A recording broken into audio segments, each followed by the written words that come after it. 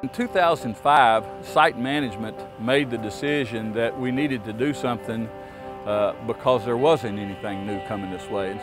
So we moved toward making biodiesel in 2005. On a monthly basis, we'll deal with uh, 900 trucks per month and 300 rail cars per month that come through. My name is Sam Dorch. I'm the general manager here at FutureFuel Chemical Company.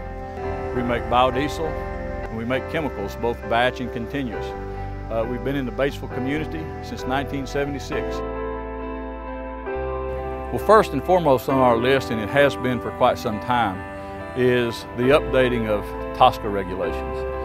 In terms of chemical R&D, the biggest enhancement I would see to that is it would really allow our salespeople to go anywhere in the states and talk to customers about their needs and our ability to supply chemicals to meet those needs without having to worry about, okay, what's the local requirements for handling this chemical in this area?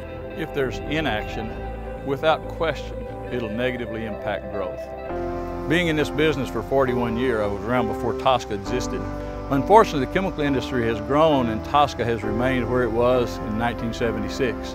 And it's time at this point to expand what uh, needs to be done to better manage uh, the health, safety, environmental issues of chemicals instead of uh, it becoming more fragmented, uh, more diverse, and extremely more difficult to deal with and work with.